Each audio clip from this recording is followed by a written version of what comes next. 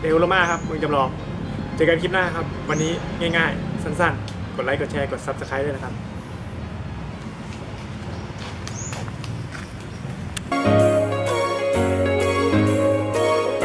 ฝากกดติดตาม ตรงนี้